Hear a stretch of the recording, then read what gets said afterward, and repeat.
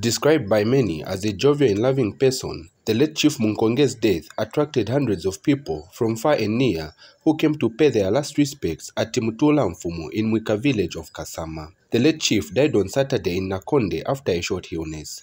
Representing government at the burial, local government minister Gary Nkombo described the late chief as a champion of development. He was also a believer in sanitation.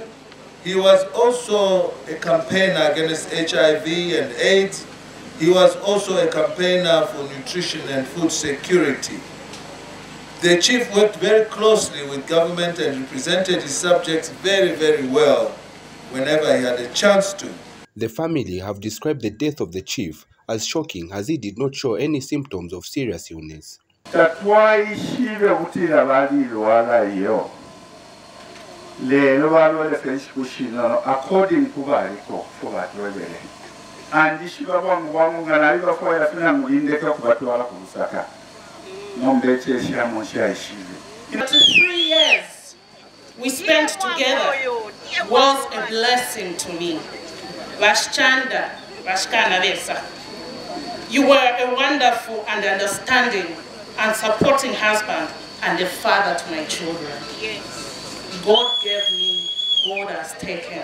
Chief Nkambo is whip in the House of Chiefs, where the late chief was a member. as a traditional leadership because we were with him in the recent uh, House of Chiefs uh, sitting and he never exhibited any uh, signs of uh, serious illness.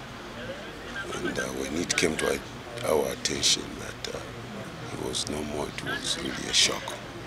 The Bemba Royal Establishment has thanked government for the help rendered during the death of the chief. the, the government response has been so quick because we didn't expect you that you could respond in such a quick time. Also, give my thanks to the president for sending such a powerful delegation to mourn our chief a young man, died at the age of 52. The late chief, whose birth name is Axon Musenga, was installed as Chief Munkonge in 2012, making him the 11th Chief Munkonge. Damon Chitalu, Diamond News, Kasama.